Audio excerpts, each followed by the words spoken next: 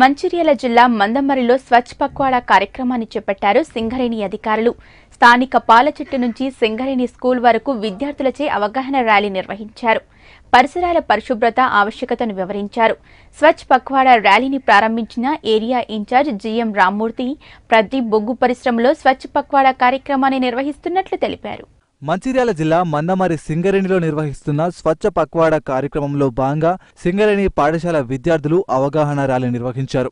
సింగరేణి ఎంవిటిసి కేంద్రం వద్ద ర్యాలీని area Singareni in charge GM V Rammurthy జెండా ఊపి ప్రారంభించారు. Rally MVTC police station Venkateswara ఆలయం మీదుగా సింగరేణి ఉన్నత పాఠశాల వరకు చేరుకుంది. పాఠశాల విద్యార్థులు సింగరేణి రెస్క్యూ విభాగం సభ్యులు అధికారులు గుర్తింపు సంఘం నాయకులు పరిశుభ్రత పక్షోత్సవాలు పరిసరాల పరిశుభ్రత ఆవశ్యకతను తెలియజెప్పే నినాదాలతో కూడిన ప్లాకార్డులను చేతబోని ర్యాలీలో పాల్గొన్నారు.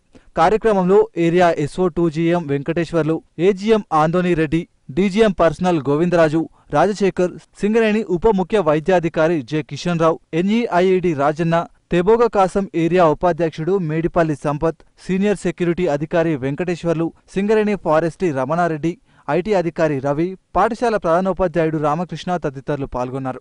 పుష్పగవాడ భారత ప్రధానమంత్రి ఇచ్చిన పిలుపు మేరకు గౌరవ ముఖ్యమంత్రి గారి ఆదేశాల మేరకు మన సింగరేణి సంస్థ సిఎన్ఎం లేని శ్రీధర్ గారి ఆధ్వర్యంలో వాళ్ళ నిన్నటి నుండి మన జిఎం గారు మనమరి జిఎం గారు వాళ్ళ కాలనీలలో ఏ విధంగా పరిశుభ్రంగా ఉంటే ఆరోగ్యంగా ఉంటారనే విషయాలపైన చాలా చక్కగా అవగాహన కల్పిస్తూ వాళ్ళ ఒక్కటే పరిశుభ్రంగా ఉంటేనే మనకు వ్యాధులు అనేటివి రావు.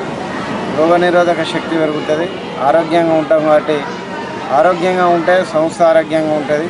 ప్రజలంతా ఆరోగ్యంగా ఉంటేనే ఏదైనా సాధించగలం అనే ఒక సంకల్పంతో చేస్తున్న ఈ కార్యక్రమంలో ప్రజలంతా స్వచ్ఛందంగా పరిసరాలను పరిశుభ్రంగా చేసుకొని ఆరోగ్యంగా ఉండాలని మనస్ఫూర్తిగా మంచిర్యాల జిల్లా మందమరిలో సీఎం కేసీఆర్ చిత్రపటానికి పాలాభిషేకం చేశారు నిరుద్యోగులు విద్యార్థులు.